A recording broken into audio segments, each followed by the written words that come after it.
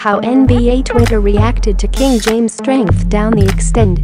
There was no chance LeBron James would let his second stretch with the place where he grew up Cleveland Cavaliers end with a misfortune at the Q.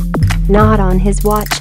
Down the extent of Game 6, when it resembled the Boston Celtics would go on a hurry to complete off the off-center Cavs, there was LeBron, with his dark and wine cape moving through the air, sparing his group from disposal all alone court.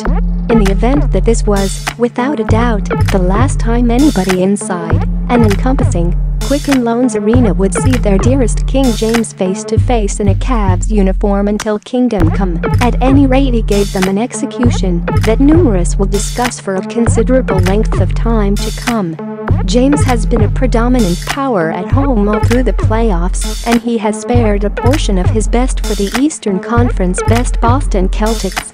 The Celtics, who are currently 1-8 out and about in the playoffs, have been tricked by a man who, without a doubt, isn't a man.